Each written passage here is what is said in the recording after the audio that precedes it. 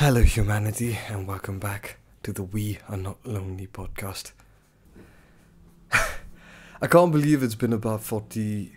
This is the 40th episode of the podcast, and I've only just realized that I've been doing the intro in a sort of a British accent. I need to work on this whole aspect of doing multiple voices. I think that's a fun hobby to have. Maybe become a voice actor, I don't know. I'll never tell.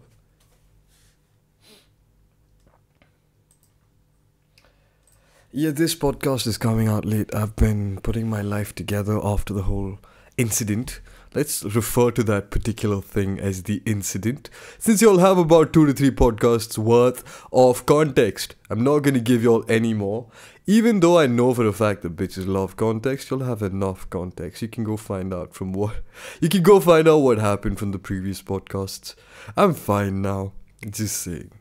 Alright, so today we're gonna be. Can't even. Oh god, that's brilliant. Alright, so. I've been putting my life back together after the whole thing, and a bunch of people are leaving the city, so I'm getting used to saying goodbye. It's already been happening a lot, but today's been brilliant. For those of you who are wondering, I've been doing ice baths on a regular now. It's been about three times. This was my third time, and I've finally reached about 11 minutes in the water. I wore my rings inside the water like a dumbass. I shouldn't have, because I could feel the cold hitting me a lot more because I was wearing the rings. I guess it's because it's a really good conductor of heat, and I don't know. I don't understand the science. I dropped science and I picked up commerce in the eighth grade. So, honestly, I don't know what today's podcast is going to be about, man. I just thought I'd sit in front of the mic and have a good old ramble. Like the old times, I had a sort of a, a plan, I guess. I sort of had a plan. I, I thought I'd sit and talk about. Right, okay. So I'm going to be talking about experiences. So recently, I've been understanding and discovering the fact that I need to talk to people more. See, the issue is I've been doing this podcast. We've hit about episode 40, which is almost 40 plus hours of podcasts, right? Like on a on an average. Let's assume that it's it's actually 45 to 30 minutes, so it's not quite 40 hours of a podcast. It's not quite 40 hours of a podcast. I I get that now, my bad.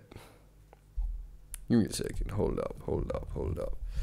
I forgot the pop filter. I hope there's a difference now. Anyway, it's been about 40 hours, close to 40 hours of a podcast. Let's just go with that estimate. And here's what I've noticed, man. One, I do listen to the podcast on my own. I I love the sound of my own voice. All right, uh, I'm just gonna admit it. and I do listen to it because I do have a great deal of insight, and the only time that I can have a good conversation is when I'm speaking to myself. Speaking of good conversation, I realized that doing this podcast thing is kind of setting me back in the conversational department because I can go on rants, dude. I can speak for 40 plus minutes without a break. And in conversations, this is not something that happens on the regular. Generally, there's a person speaking, and then you stop, you absorb whatever they've been saying, you repeat it back to them to gain their approval and show them that you're listening. There's actually really good conversational material, by the way, if you want to learn how to talk. That bit was gold. I know this and I'm working on becoming a better conversationalist. But the issue is, once in a week, I sit in front of a mic and I just spew venom. the problem with this particular issue is, I've got to understand that I can't go on 40 minute rants, 40 to 1 hour rants by myself in public when I'm supposed to be speaking to other people. I need to be a lot more concise Okay, so full disclosure, I've actually done like two open mics so far. Both of them comedy based. One of them was slightly philosophy and then comedy. It kind of leaned into each other because nobody expected me to be doing the comedy after the first initial part. But like I said, it was all about the context. That initial about five minutes was me giving context. about certain aspects of Sanatan Dharma, particularly the Panchamahayagna, which I'll talk about eventually. And what happened was, I, I factored that into my stand up. So it was kind of educational and comedic at the same time. Oh my god, that was brilliant! Sorry. okay. Um, after the ice bath, I've been kinda on a high, you could say. I've had like two meals today. One was a brilliant avocado wrap, like a burrito almost. I'm going on tangents again, aren't I? Let's get back to what I was talking about. So, the reason I started this entire thing was over the past couple of months, I've made quite a few new friends. A lot of them from other countries. They come down to my town, which I've spoken about before. Mysore is like one of the second most well known cities for yoga. The first, I think, would be Rishikesh. And I didn't know about this for a very long time. I didn't know about it. I didn't experience it until recently. Now, I knew Mysore was kind of a hotspot, like a lot of foreigners, foreign nationals, Firangs, white people would come down and study yoga here. Alright? But I didn't really realize the scale of what was happening. At one particular time in the past, we had a guest, we hosted a particular guest from France who stayed in our house for a couple of months and just did yoga for a very long time. And even then, it didn't really click in my head that this was a thing. So it took me some time to understand this entire situation. And I really understood what was happening here after I experienced the yoga culture by immersing myself in it. Just give me a second. She wouldn't call unless it was important. I have returned triumphant. Alright, so I was saying I've met a lot of people, I've met and meet a lot of friends, acquaintances, whatever you'd like to call it. If you want to be technical about it, you can be technical about it. It's completely fine. So a bunch of people were leaving, and I thought I'd give them a goodbye present. So I just went over and I gave them a bunch of Rudraksha as memories of India. and the reason I realized that this entire thing was happening was because I had to be extremely conscious during the entire conversation regarding, yeah, don't go crazy, don't overdo the conversation. Give them time to talk. Absorb information. I had to do that consciously and I realized, oh, wait, I might have a problem. Maybe this whole podcasting thing is getting things out of hand. I mean, it's not really an issue. I do know how to converse, but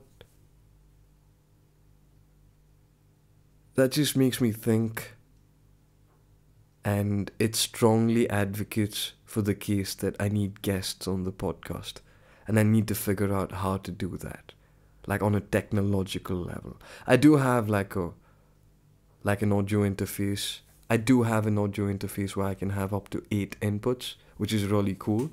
It's actually supposed to be a drum or it's an audio interface for plugging an entire drum kit in, and it's supposed to go on a rack. And I've sort of put it on a rack but not Iraq, on Iraq. Right. My point being is that I need to figure out how to do this entire thing. I have borrowed a friend's mic, and in true scummy behavior, I'm gonna give the shittier mic to my friends because, you know, I'm an asshole.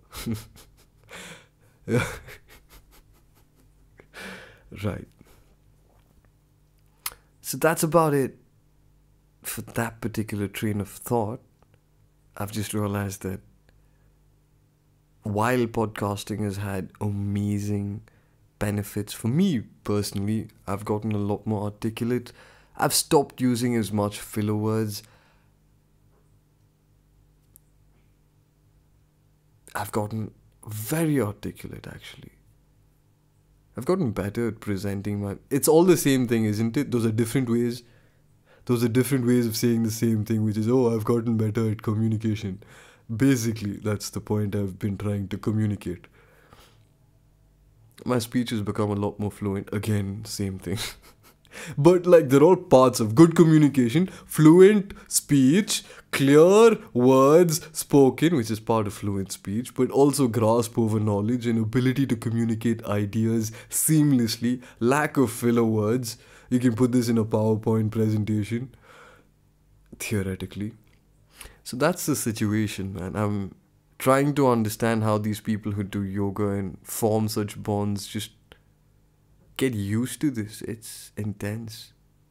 I'll be straight up with you, dude. Like, for the past seven and a half years, I've been a shut in. More or less. I do my own thing, especially over the past couple of years with the whole pandemic. I've become a shut in. I do my own work, I do a lot of content creation. I, I haven't really been putting out content as much as I've been creating but I've been creating a lot of new things. I've been doing a lot of work. And I guess that was the logical next step to just put out content. And I enjoy doing it now, which is why I'm doing this entire situ. This is why I'm doing the entire thing. If I didn't really like sitting in front of the mic, listening to my voice for about 45 minutes, and then listening to it again while I'm editing, I wouldn't really be doing this, would I? hitting 42 episodes makes me wonder how long is this going to keep going? I want this to go on for a while. I have very ambitious plans. Not in terms of like money, just like with the podcast particularly i just want i want to have interesting conversations i'm going to put out an intention into the universe go for it I've just realized that I have a very interesting network. And I haven't really explored just how wide and far reaching it is and the interesting kind of people that I've been coming across recently.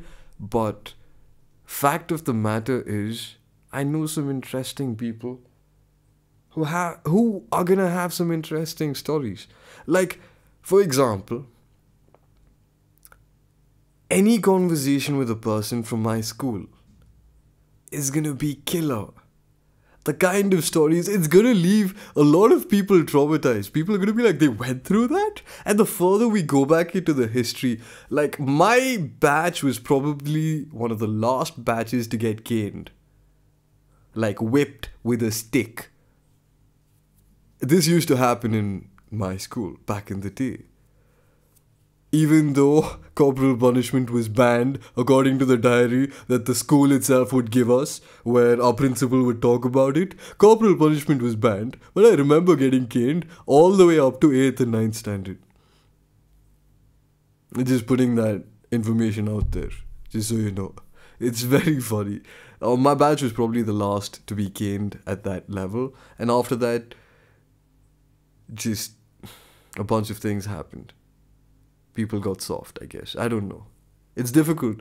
I wouldn't wish anybody undue suffering, but over the past couple of months, I've started to realize that for men especially, suffering is what builds character. And I know that this is going to sound like one of those platitudes as one of my old friends, as one of my old, almost more than friends would have called it. I know I'm a platitude generating bot sometimes, right? But there is truth to the saying. There are, they are platitudes for a reason. There is a great deal of truth in them, and people have recognized it, which is why it keeps coming up time and again. Now, the issue that I've noticed is that strong men are created by hard times. They go through suffering, and just like iron goes stronger after being in hellfire.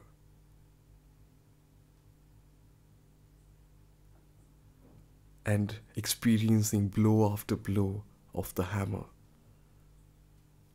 Iron gets hardened after all of that. It reaches its ultimate form, the sword. This is a metaphor. Just like that, a man gets stronger and more capable, more competent, more dangerous by suffering. And I've seen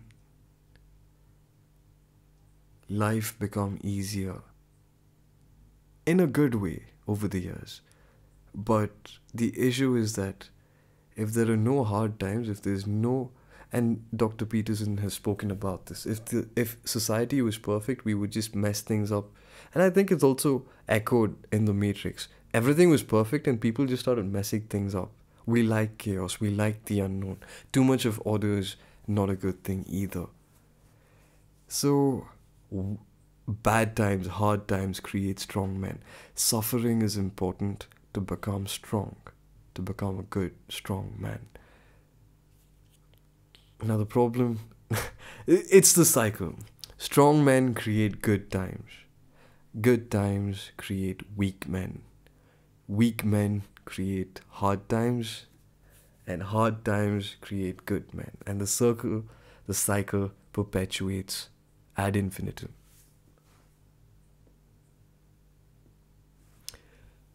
This is some, this is an idea that is shared by a great deal of people, including Andrew Tate. Now, I understand that people don't really like Andrew Tate, and yeah, sure, everybody's entitled to their opinion, but I haven't met somebody with a clear reason. They quote his old work. Like, here's the thing about Andrew Tate, man. Say what you will. He's been released from prison recently He's been released from an unlawful detainment. There was no reason to keep him in jail for that long. But they did it anyway. And the amount of people that had rejoiced over that particular thing was insane. They're like, we don't like what he's saying, so we're going to shut him up. He can't say things that we don't agree with. And that's a dangerous precedent. A lot of people have warned against that. Now, I might not accept what you're saying, but I respect your right to say it. That's the kind of an attitude we've got to have moving forward, right? But there are certain groups in society that have started to terrorize, that have started to push weight unduly on certain issues. Only what they say is right. Only they have this monopoly to violence. Now, in a civilized society, I like that little joke.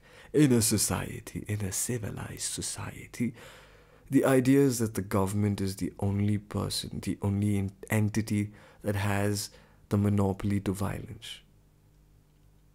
It wasn't so earlier nobles had like if you were higher up in the hierarchy especially in the feudal age anybody with a decent amount of power could do a great deal of violence. For example there was one particular company with a great deal of wealth. They were called the east india company. They came to india to trade and thanks to the mughal emperor who was a weakling and a fool he gave them the right to bear arms and amass private armies for a very cheap price. I think it was like for beer or something. And he was Muslim, which is weird because they're not supposed to drink, it's haram. So he basically allowed them to come here, and that set the tone for the English conquest of India. The East India Company was brutal. They were so brutal that they had taken over an entire country, most of the country. There were a great deal of pockets of resistance in and around, even among the people that quote unquote worked for the so called EIC, one of them being the Sepoy Revolt in 1857. Now, this is something I've been studying up, I've been brushing up, up brushing up on history because I'm reading a particular book, and there will be more of this topic coming. Alright. I don't understand why I went on this particular tangent, but I'm just going to continue it because this is going to be one hell of a podcast. so, the East India Company had this entire country by the balls the country was India, my country. And eventually, their atrocities got so severe that Queen Victoria had to step in and assume ownership. So essentially, they became India became a colony of Britain, of Great Britain. And it continued to be a colony until 1947 when Lord Mountbatten had enough of being cuckolded and he left the country. Sorry. Lord Mountbatten had enough and Great uh, Britain had lost a lot of wealth after fighting in World War II on multiple fronts. Even though they were victorious, they had spent a great deal and they couldn't afford to keep all of these colonies running, especially the crown jewel, which was India they had siphoned off a great deal of wealth, and this is an interesting point, right? Because World War One and World War Two, at this particular point in time, eh, Great Britain had been bleeding India dry financially.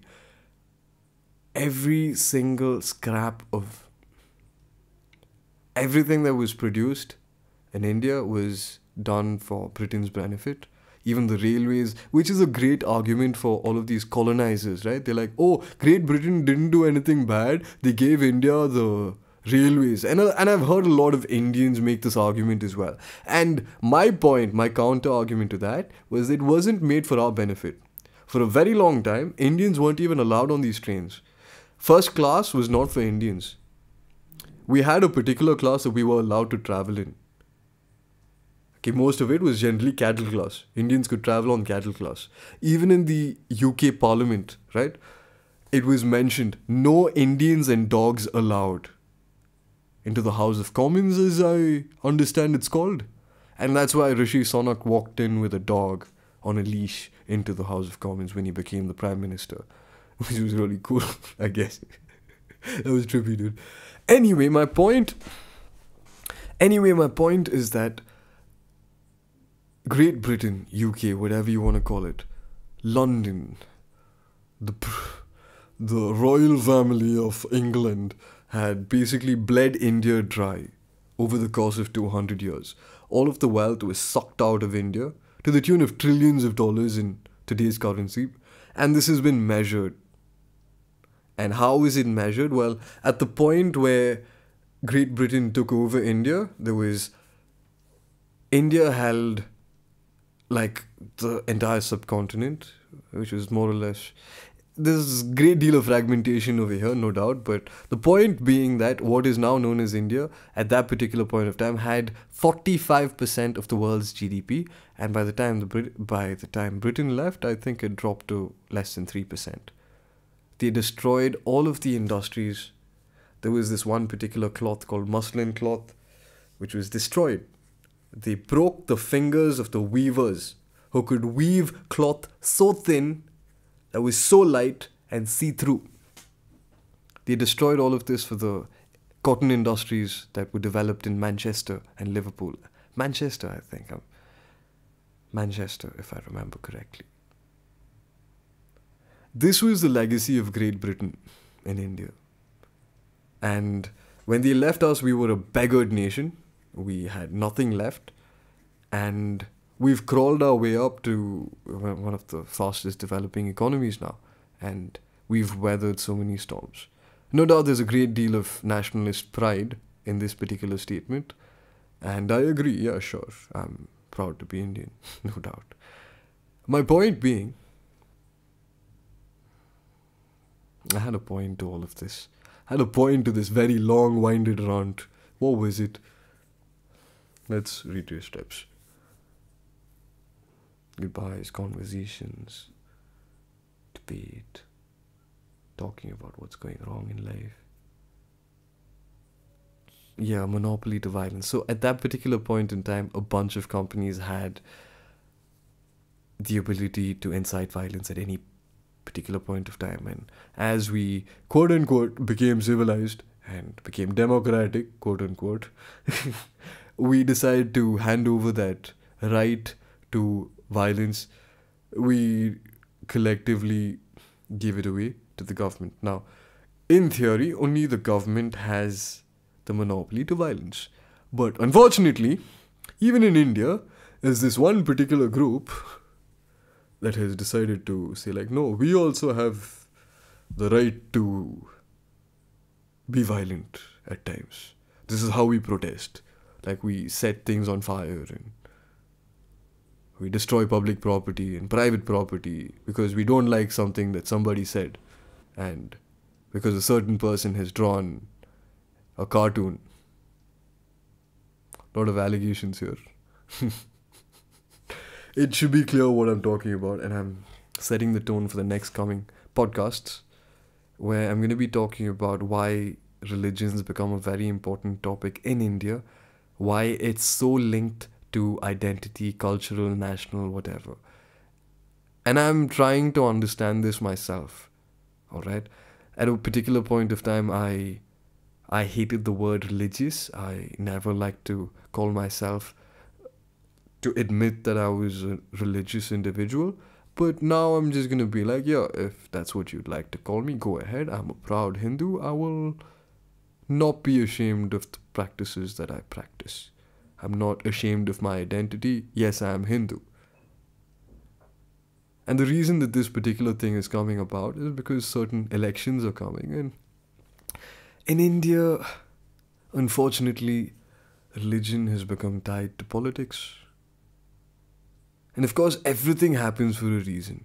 And I'm going to be exploring the reason why this has happened, and that's going to be me going into the past, nearly 200 years into the past, and talking about why this particular situation in the present has come about as a result of certain movements that have been happening over the course of 700, 800 years onwards. It's very controversial, even today anything that talks about a, a Hindu identity, a cultural identity that transcends the idea of a nation is laughed at by certain people, and that's why it's become a political issue. I know friends who proudly say, Yeah, I'm atheistic, and, and it's completely fine, but you have to understand that there are very few religions that give you the right to be atheistic. Now, I was having a conversation with a friend today and I didn't really go into the full topic because one was because I had just had food and I didn't want to get into that entire discussion at that particular moment. I was relaxing and I had just come to say bye. And it was a religion, it was a context, it was a discussion about religion. All right. And it was this idea that, oh, organized religion is uh, not that great and even like the Hindu religion doesn't really understand, and there are gods up there, and there are things down here, and whereas certain animistic, shamanistic religions are all about the beings that are here. And I've been thinking about that particular idea, and I'm going to be st- starting my studies into that particular topic. I heard something called Panchamama, I believe, and I want to explore all of this, but I've done a great deal of study into Sanatan Dharma and one of the beautiful things about Sanatan Dharma is that it's all encompassing. There's this one particular shloka that talks about Ekam Sat Bahuta Viprita Vadanti. Like the truth is one, but we know it by different names. And this particular thing has been misused by a lot of people. We've seen the fact that Indians are so happy to accept other religions. I've seen places where a picture of Jesus is placed on the same altar as a picture of Shiva. And both, like, they have the garlands, they put tika, they put uh, namam to Jesus as well, and they offer incense and all of that. And that's the beauty of Sanatan Dharma. We're like, we have no problem, bro. Here, oh yeah, we don't worry, bro. You wanna, oh, this is your God. Don't worry, we'll also pray to him. We are completely fine with that. But certain people are like, no. And I'll be exploring that in the future. I'm going to be going deeply into that. And I've been thinking. Now, I didn't want to get into the whole topic, but I've been thinking about it.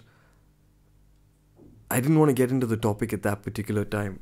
But uh, since I didn't do that much study into the thing, but I've been thinking about the whole animistic concept and all, and how, dude, the idea of Vedanta, like, Sanatan Dharma is that the gods walked earth. One of the ways that my friend described Uttarakhand, context Uttarakhand is in the north of India, it's close to the mountains, it's a place that my friend from the north described as Devabhumi. And the reason that it's called Devabhumi is that gods have walk, walked in that land. And the way he described it is that the vibration there is something else. It's beautiful, it's another level. And now, India itself is a land where gods walk on earth. There's this particular tradition that pays a great deal of homage to earth spirits and daivas, they call it. Like, for example, I don't know if you've watched the movie Kantara, but Panjurli is shown in the form of a boar, a wild boar, and he's associated with nature and forests. Now, Guligan is a fierce form. He's uh, some call him the son of Shani, the uh, Mandiputra. And he's a fierce being who accepts a great deal of sacrifice. He's found in forests. He's the protector of forests. Now, both of these are minutely connected with the forest, with the earth. And the same tradition is found everywhere along the coastal regions of Karnataka, all the way to Coorg. There's even in Kerala, you find Guligan. Now, daivas differ from area to area. There are different daivas in. Uh, I'm I'm not sure. I think Muthappan is a proper form of Shiva, but he the some of the traditions attributed to the Daivakola also are performed for Muthappan. There's a dance. There's a dance where there's a dancer where it's believed that Shiva in his form as Muthappan descends, and you offer liquor to Muthappan. He likes liquor. and He likes to hunt and all of that. It's a very complex topic that can't really be summarized like the rest. That's all I'm going to say. The kind of things that are found in Hinduism are so vast that even, dude, I've been studying this ever since 2012 and I, I don't have all the answers. It's been almost 12 years.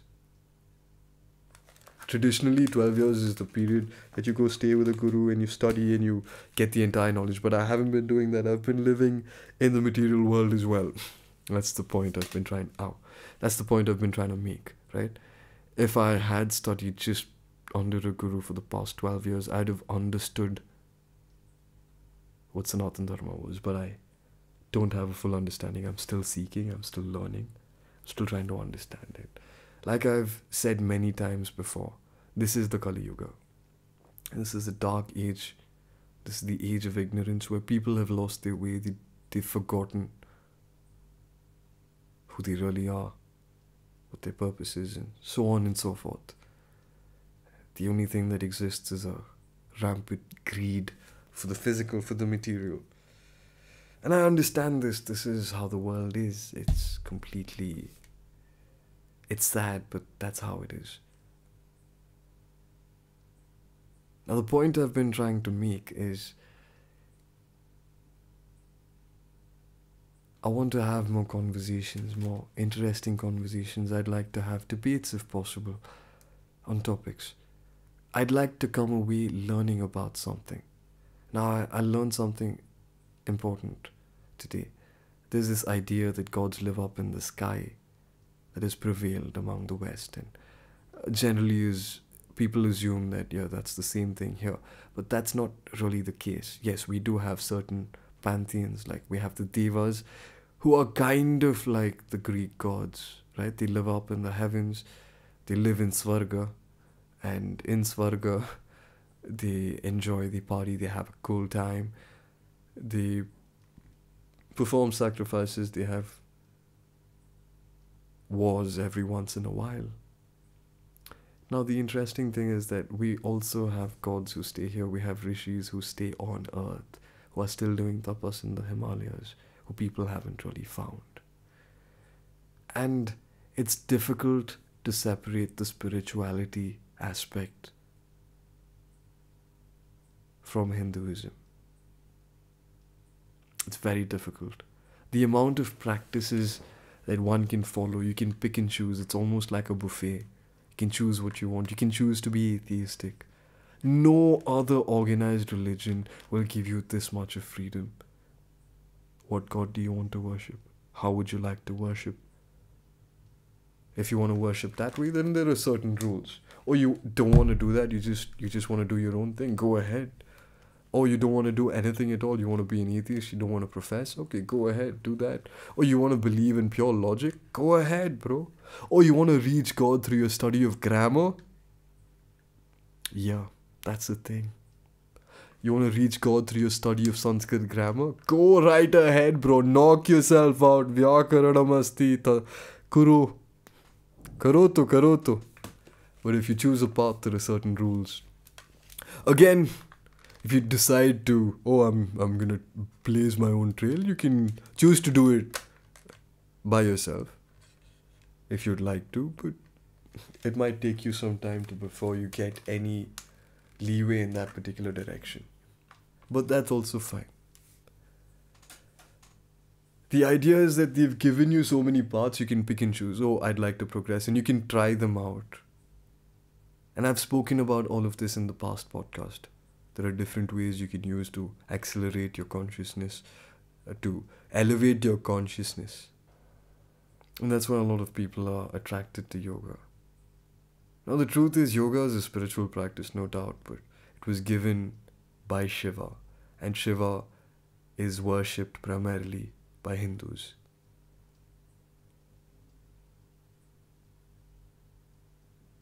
Yoga is Hindu. It can be practiced by others, but you have to understand that it comes from this particular source. That's the thing.